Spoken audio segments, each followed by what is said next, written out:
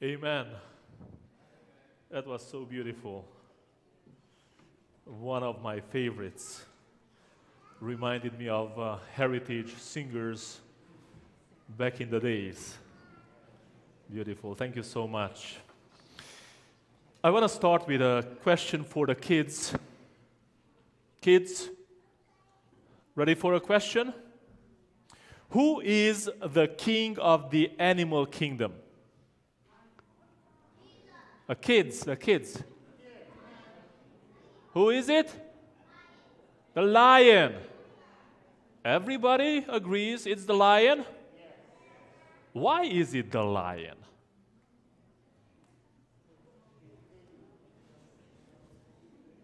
Is it the strongest animal? Mm-mm. No, it's not. It really has a royal look, but it's not the strongest animal. The tiger, for instance, is the biggest cat, and it's stronger than the lion. And you have elephants, rhinos, hippos, and some other. By the way, now listen carefully, kids again. Who is the king of the American animal kingdom?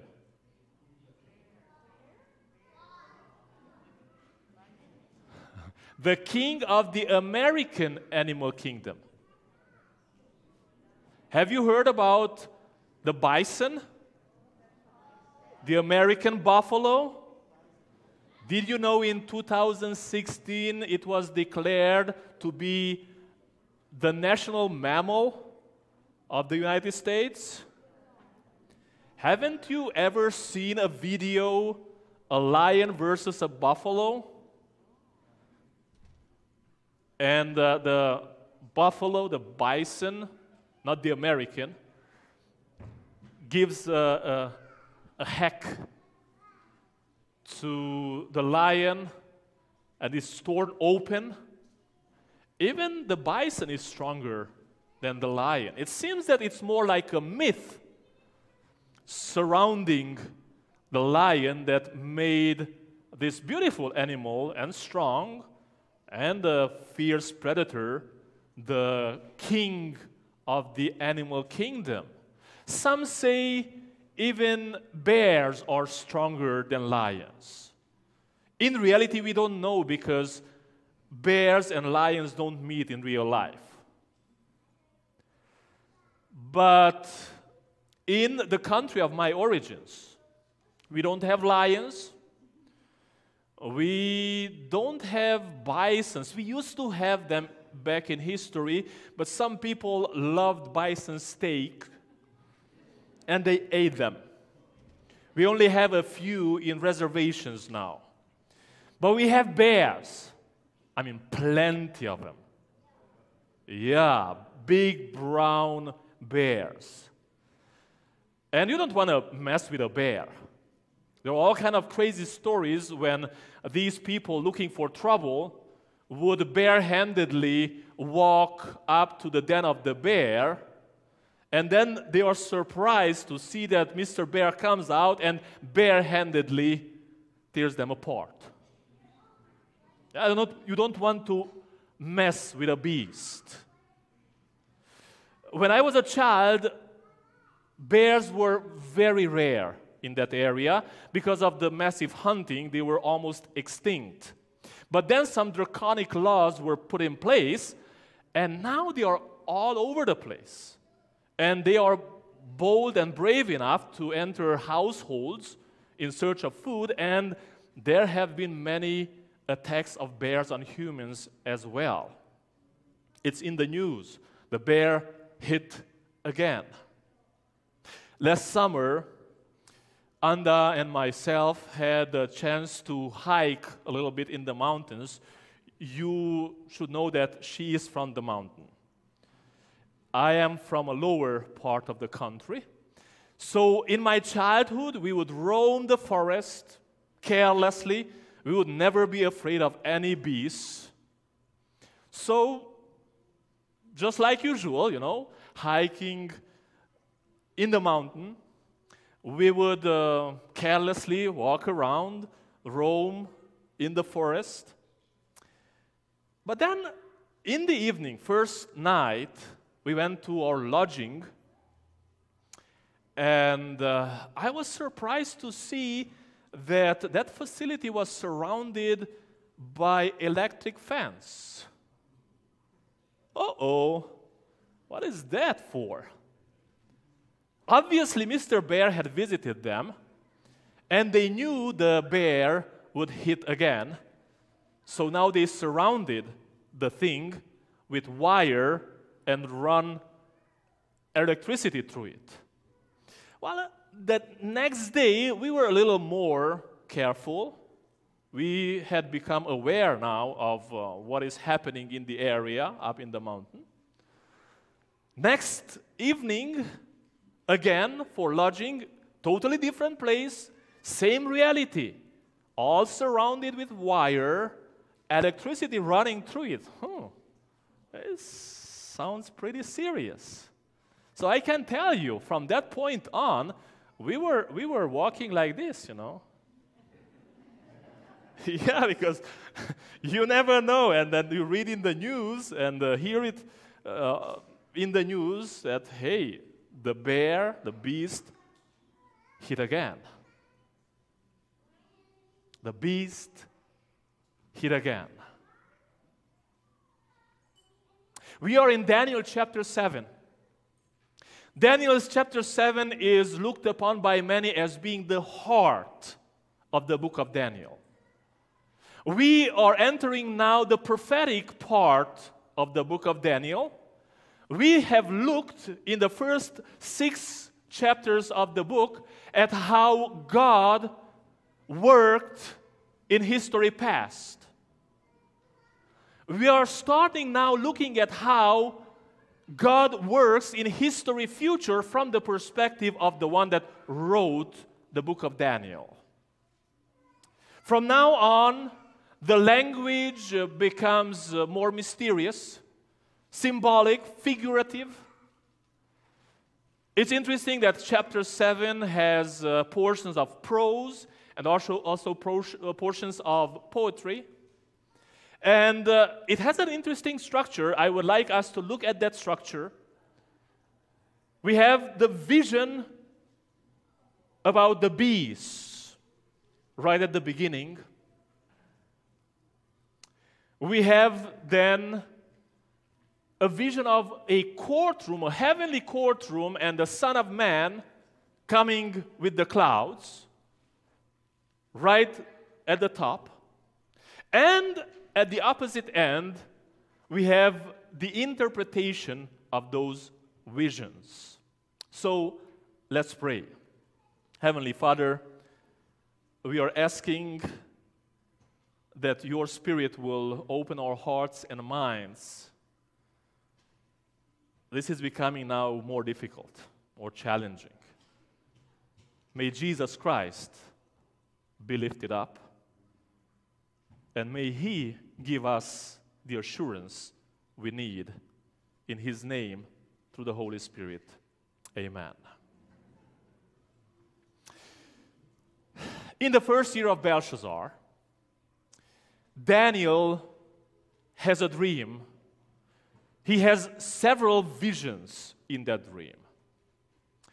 This dream happens some 50 years after King Nabucco, Nebuchadnezzar in chapter 2 had his dream, and you will see that there are some similarities between Daniel's dream in chapter 7 and Nabucco's dream in chapter 2. Daniel says that he saw a dream, and uh, in chapter 7, verse 2, he says, the four winds of heaven were stirring up the great sea, and four great beasts came up from the sea, each different from the other. Right at the beginning of the chapter, we are told that Daniel just gives us the main facts. In Hebrew, in Aramaic here, the head facts. So we don't have all the description of everything he saw. We have the main, the head facts. And the first vision is indeed about four beasts. I'm going to try to act out some components of uh, these visions so that we can follow the chronology of them. The first vision, the vision about the beasts, starts with a beast that looks like a lion. It's not a lion because it has wings, the wings of an eagle. So it's a hybrid kind of thing. But it looks like a lion. We know from history that the lion was a symbol for the Babylonian kingdom. So this is parallel to chapter 2 what was the head of that image? It was gold, gold, golden head. Pretty golden color, this one too. So, this is the first beast Daniel sees. Good.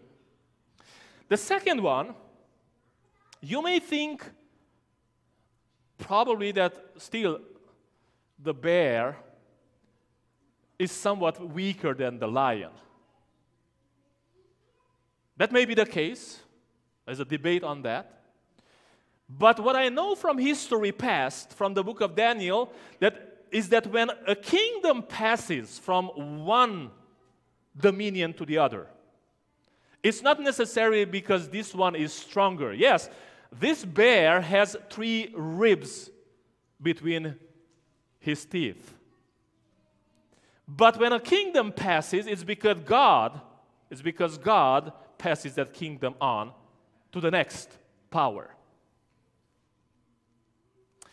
And then the third one is a leopard. I couldn't find the right one. A leopard that has, again, it's, it's weird. It has four heads and four wings. So that's Babylon, the, the golden head.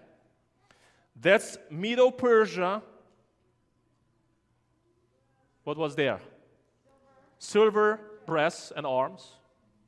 And this one is the Greek Empire corresponding to copper or bronze belly and thighs. Okay? All good so far.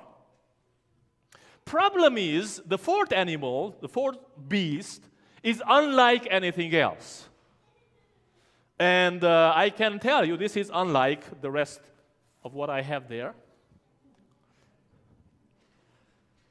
The description is extremely interesting. Seven, starting with verse 7, a fourth beast, dreadful and terrible, exceedingly strong. It had huge iron teeth. Iron teeth. It was devouring, breaking in pieces, and trampling the residue with its feet. It was different from all the beasts that were before it, and it had ten horns. Please notice three elements. Those three elements, backwards, those three elements in red iron, feet, and 10. What does that remind you of? In the image that Nabucco saw, the feet were iron, so you have pretty strong hints there. And the toes were how many? 12, right? No, 10. Good. Verse 8. So this is the Roman Empire that follows the Greek Empire. It was, I was considering, contemplating, says the Aramaic, the horns. The horns. So, so the focus is already on the horse. And not even the horse, the ten horn confederacy, really. And there was another horn, that's the focus. A little one coming up. It's coming up among them, before whom three of the first horns were plucked out by the roots. It goes on saying, And there, in this horn, were eyes like the eyes of a man, and a mouth speaking pompous or great words. Now, the eyes like the eyes of a man seem to be a counterfeit here for the Son of Man that is going to appear in the next vision. So, this is the first vision, starting here. But then, Daniel sees a second vision, and uh, the story now changes to poetry. It was prose up to this point. He sees another vision. I watched till thrones were put in place, and the Ancient of Days was seated. His garment was white as snow, and the hair of his head was like pure wool. His throne so you have thrones, plural, and his throne, God's throne, was like fiery flame, its wheels a burning fire. Who's this ancient of days? I'm looking at you, and some of you look somewhat like the ancient of days. you know, there is in in the Talmud, the Talmud is a, a Jewish religious literature. It said that when God goes to battle, his hair is black like a young man's. But then when he sits on his throne, judging, make, doing justice, his hair is white as an old man's we can relate to that, right? Because after a certain age, unless you die daily, you look like the Ancient of Days. Right? So, God, it's not that He is old. That's not the picture. The picture is you have a wise judge doing justice here, sitting on the throne, surrounded by other thrones. This is a very interesting picture. It appears in several places in the Bible. Because it seems that God doesn't do government and justice autocratically alone. He somehow, in this court, heavenly courtroom, or in this cosmic trial, he has some beings representative of un fallen words or unfallen beings, I believe, that are somehow as a panel of judges or justices around him, and together they do justice. It goes on, verse 8 a fiery stream issued and came forth from before him. A thousand thousands ministered to him. 10,000 times 10,000 stood before him. The court was seated and the books or the records or the tablets, the laptops if you want, were opened. The idea is there are some records based on which the court does justice. So now at this point, it's like the whole vision of this courtroom scene is interrupted by some pompous words spoken by who? The little horn. How do I know? Verse 11. I watched then because of the sound of the pompous words which the horn was speaking. I watched till, and this till is very important, till the beast was slain. Which beast? This one, the fourth beast. Till it was slain, and its body destroyed and given to the burning flame. The burning flame came from God's throne, so somehow there's a connection between this scene and that one of the courtroom, meaning that this beast, its power, through that little horn that grew, came up, comes all the way down in history to the time where this judgment happens. And then you may ask, okay, but what happened to the other three? Daniel explains, like in a parenthetical flashback, he says, as for the rest of the beasts, they had had their dominion taken away. Their dominion was taken away, yet their lives were prolonged for a season and a time. What does, that means is when the bear conquers the lion, the bear doesn't eat the lion. The lion is still a strong part in the bear's kingdom. But then after a while, it's disintegrated and uh, it's integrated in the fabric of the new kingdom. So all these three are taken out, the power is taken from them, then taken out. But that one remains. And when this happens, because this description here about what, ha- what is happening to the beast is like a bridge between the courtroom scene and the next scene, which is right here next to it, starting with verse 13. Look at that.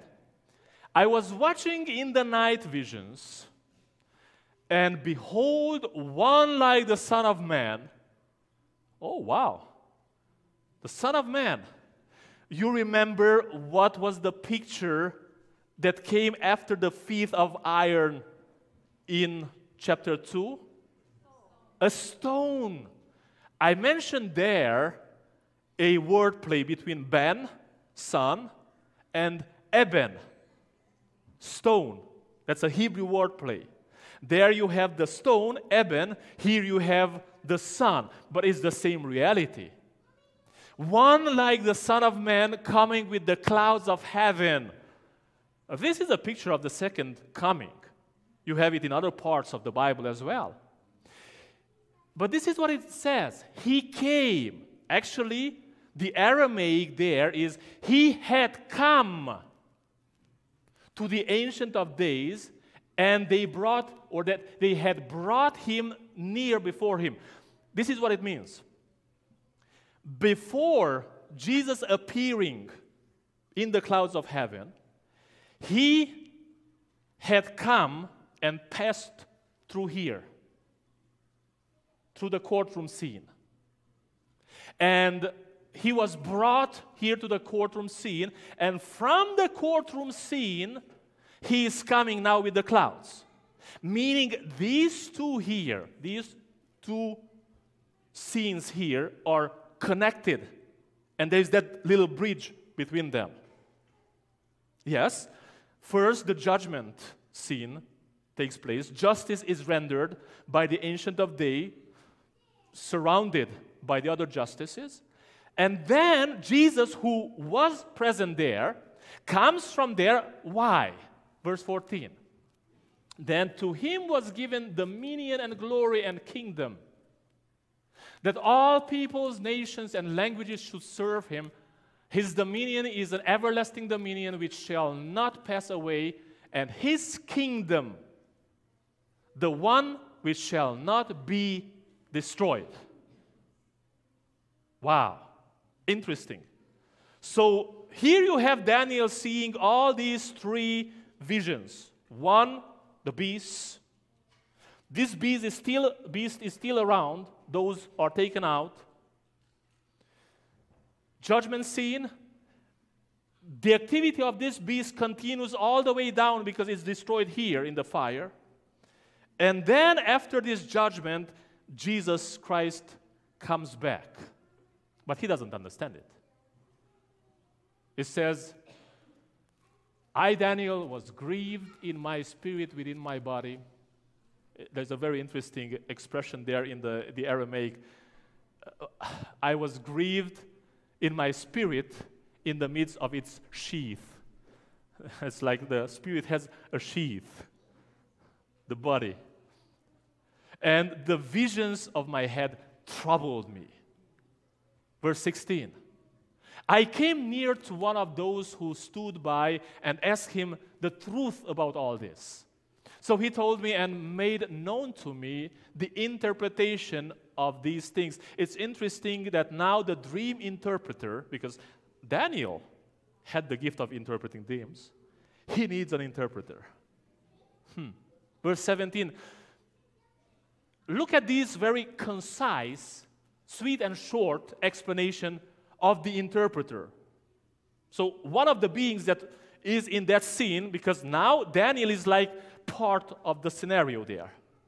So, the interpreter says, Those great beasts, meaning this one and those that were taken out, which are four or four kings or kingdoms. It's used interchangeably because in 23 it's kingdoms, which arise out of the earth. But the saints of the Most High shall receive the kingdom. This is the first time it appears here that the saints of the Most High will receive the kingdom. They will receive the kingdom and possess the kingdom forever, even forever and ever. Very short and comprise. But Daniel is not satisfied. He goes on that I wish to know the truth about the fourth beast. That's my problem. That's what I, I want to know. I was watching, and the same horn, the little one, but whose appearance now is greater than his fellows, according to verse 20, was making war against the saints and prevailing against them. Verse 22. Until the ancient days, uh, ancient of days came and a judgment was made in favor of the saints and the mo- of the Most High, and the time came for the saints to possess the kingdom. So, this beast, the fourth beast, through the little horn, was fighting and fighting and fighting, making war against the saints up to this point when the judgment was made, and then the kingdom was taken away from him and given to the saints. And this is the second time it appears that the kingdom will be given eventually to the saints. But Daniel still wants to understand. So the interpreter, and now it switches back again to poetry, comes to explain to Daniel what it means. 23. The fourth beast shall be a fourth kingdom on earth, which shall be different from all other kingdoms and shall devour the whole earth, the whole earth, trample it and break it in pieces. Verse 24.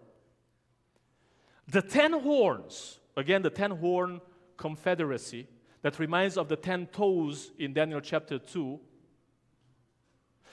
This is a continuation, an extension and continuation of the Roman Empire somehow.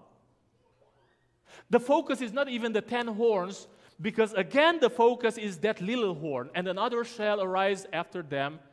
He shall be different from the first ones and shall subdue three kings. The ten horn confederacy can easily be a symbol of uh, political powers that somehow stem out of the Roman Empire, imperialism, and then we have colonialism that brought imperialism all over the place on the planet. You can go online and look at some maps, see how colonialism started from where the Roman Empire used to be. And then we ended up these days speaking about globalism or the global village.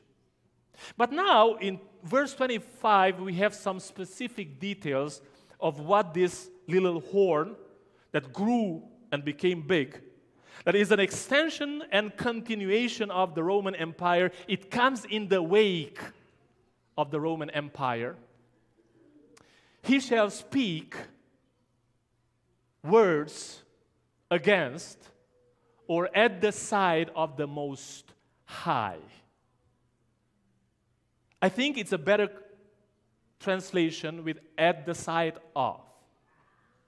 And to explain that, I would need somebody to join me right here. Nick, can you please jump up here? So, this power, this superpower, this superpower comes at the side of the Most High and speaks pompously or greatly, obviously, not for him, against him. Right? Because it's an enemy of the Most High. Thank you so much. So, my question is this Is there a superpower that came in the wake of the Roman Empire as an extension and continuation of the Roman Empire that came at the side of the Most High and spoke for him, that is, against him.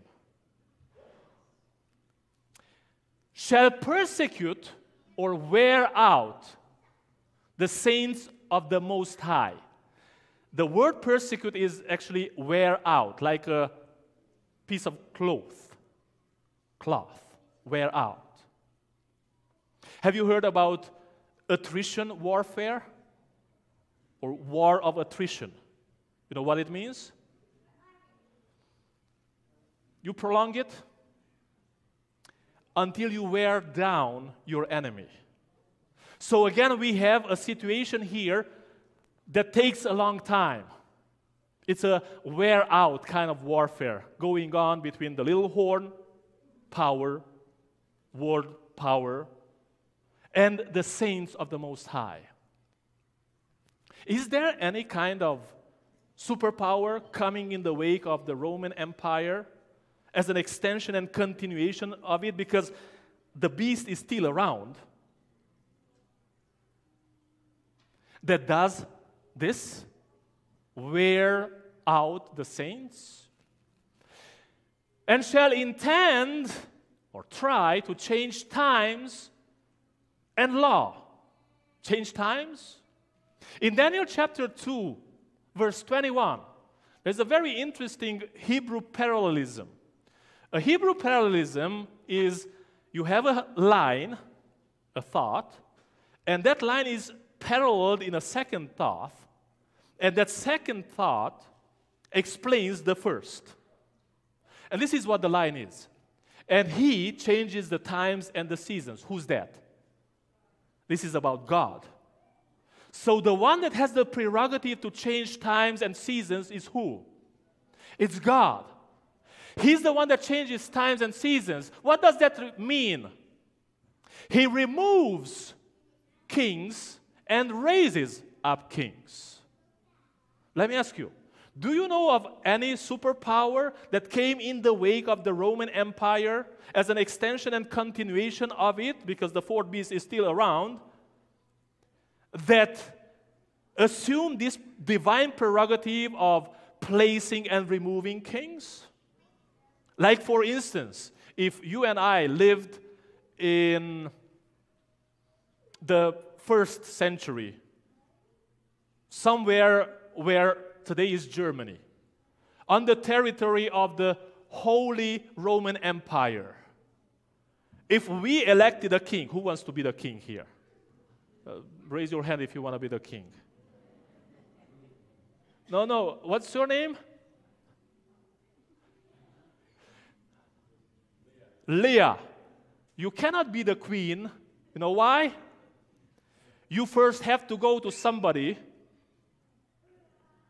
and if that's somebody representing a power coming in the wake of the Roman Empire as an extension and a continuation of it, if that power allows you to be the queen, then yes, you can be our queen.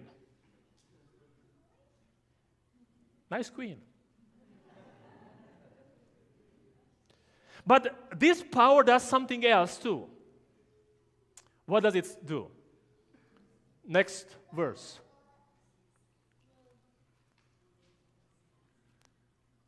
It's trying to change the law. It's in the previous part of that verse. before, yes, that's the final word there. Changing the law. The law, the word there in Aramaic, dat, is a translation, the Aramaic translation of the Hebrew word Torah. Torah. Now, it's very difficult to say exactly how things happen. But I'm just looking at historic Christianity, and this is what I notice. God's Torah, because the word explicitly refers to God, has been changed in various ways. First, the content was changed. How? Torah, normally in Hebraic thought, refers to the five books of Moses.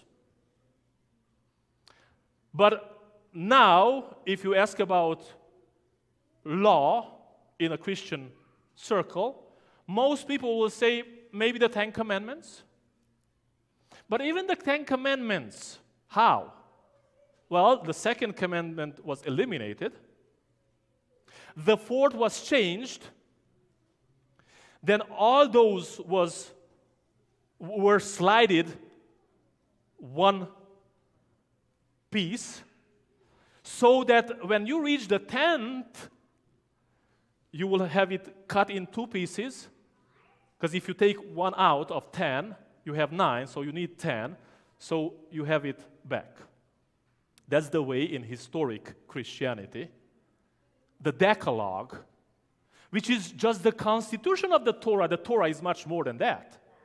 The Torah is an expansion of that as well.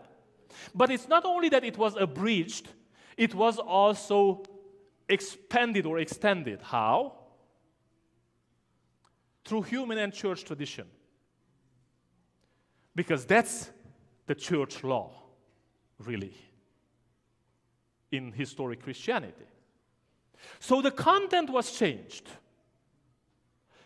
But the nature of the law was changed as well. Because instead of speaking about God's Torah as being a law of life, a law that gives you the context of life, a law that God designed you for. Instead of that kind of law, the law became an arbitrarily imposed law imposed from God by the church. Not only his law, but also the human tradition that was added to it. And as well, content, nature, the role of the law is changed.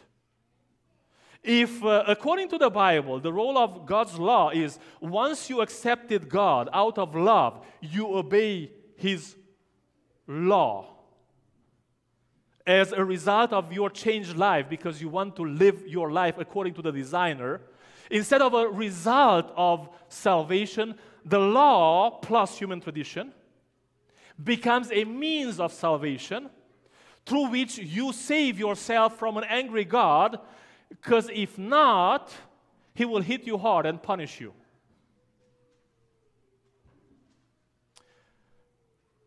Do you know of any world power that did that kind of thing, coming in the wake of the Roman Empire as an extension and a continuation of the Roman Empire?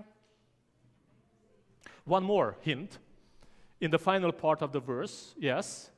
Then the saints shall be given into his hands, or and the saints shall be given into his hands for a time and times and half a time.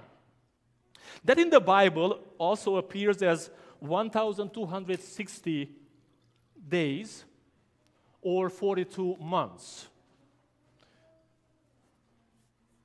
Time, times, which is double of this, and half time. Credit to Michael Morton. Okay? We could spend the rest of this morning doing the math, you know, see how things add up. Leave that aside now. Do you know of uh, a superpower coming in the wake of the Roman Empire, as an extension and continuation of the Roman Empire, that persecuted the saints of the Most High for a prolonged period of time. I know one. You know how I know?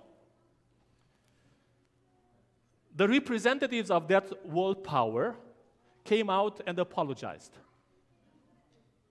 They apologized for the atrocities of Inquisition, for the evils of the Crusades, and also for the sins of colonialism. Watch this.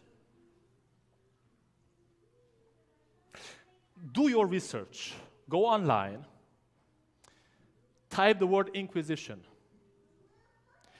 And search and see who is the superpower behind the killing machinery of the Inquisition.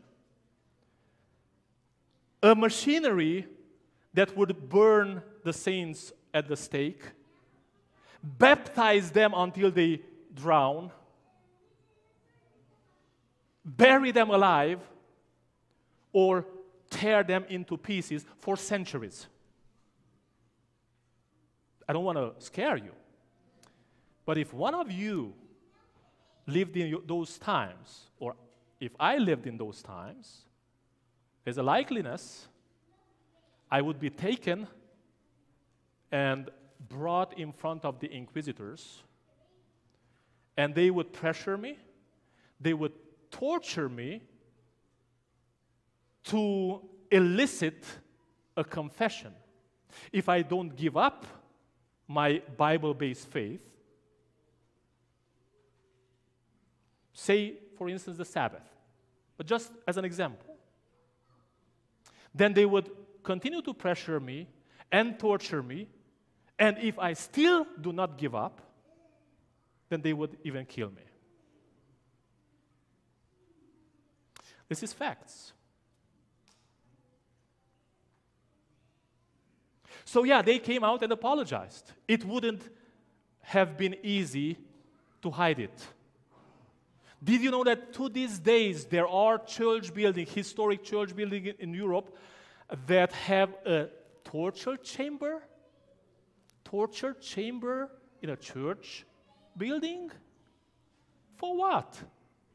Well, the saints were taken there, tortured by inquisitors, because they thought it was their divine mandate to make those saints recant or retract. Otherwise, it was a good thing for society for them to be eliminated taken out. I know these days there's a rewriting of history. And the way it's rewritten is like, yeah, I know we did that. It wasn't that bad. Instead of like 50 million people that some speak about, it was maybe like 30,000. Wait, wait, wait, wait, wait if it was only one? How can you torture or kill even one of the saints of the Most High in the name of Jesus Christ or in the name of the cross? One, not two, not three, not ten, not one hundred, one. How can you, in the name of the cross, in the name of Jesus Christ, tell somebody, hey, you're wrong, I'm right, and therefore I'm going to burn you, or bury you alive, or tear you into pieces? How can you do that? Somebody may say, yeah, but that's not the only superpower that persecuted the saints. Correct? Correct. All superpowers that persecuted the saints were moved by the same spirit that moved this superpower. But this specific superpower came in the wake of the Roman Empire as an extension and continuation of the Roman Empire. That's my struggle here. Okay, you may say, yeah, but they apologized. Apology granted. Do they still do it? You may ask. No, they are not doing it that way. But the mere fact that they are not doing it that way is no safety. You know why? Because this prophecy tells me that the beast is going to hit again. How do I know? Look at verse 26. But the court shall be seated, and they shall take away his dominion to consume and destroy it forever. So only here will the dominion taken be away right before the second coming. Verse 27 Then the kingdom and dominion and the greatness of the kingdoms under the whole heaven shall be given to the people, the saints of the Most High. The third time now.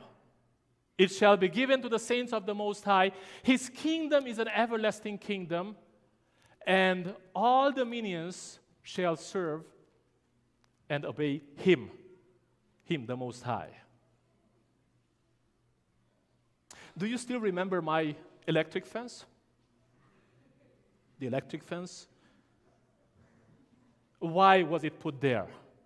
Because they knew the beast will hit, would hit again. Imagine one day I'm there hiking in the mountains, and I reach one of those places where I saw the wire, the electric fence, and I see them removing the wire. I'm going to them and tell them, uh, gentlemen, don't do it. Why not? No, no, that's dangerous. Why is it dangerous? We haven't seen a bear in this area for quite some time now. Listen, don't remove the fence because the bear will hit again one day. Let me ask you is the mere fact that they have not seen a bear around, a beast around for quite some time, a safety that they will never see a beast around again? Now, watch this. Right now, we live in a time where we have already removed the fence. Are you listening? We have removed the fence. We are doing picnic in the backyard. The kids are running all over the place. We are having such a fun time. But this prophecy tells you and me that the beast will hit again. So then you may ask, okay, so, so is this thing, the three or time, times, and half a time happening right here? Uh uh-uh, uh no. know why? Because the book of Revelation speaks about the same power, world superpower. In chapter 13, verse 3, it says, And I saw one of his heads as if, notice, as if it had been mortally wounded or slain unto death, the Greek, and his deadly wound was healed. So you have this superpower receiving a wound that looks as if it was mortal. It's not mortal, because if it was mortal, then you have it gone. You understand what I'm saying? It looks as if it was mortal, meaning that it's not, it's gonna heal. Oh, so there is a part here where persecution happened, then there is a part here where the mortal wound is healed, and then the beast will hit again. I know it's hard to say. Biblical prophecy. Let me show you the other verse, 17, verse 8. The beast that you saw was, is not, but, and, will ascend. Same exact picture. I have to confess, I am troubled by this Bible prophecy. And it's not only me. Daniel was troubled too. Verse 28.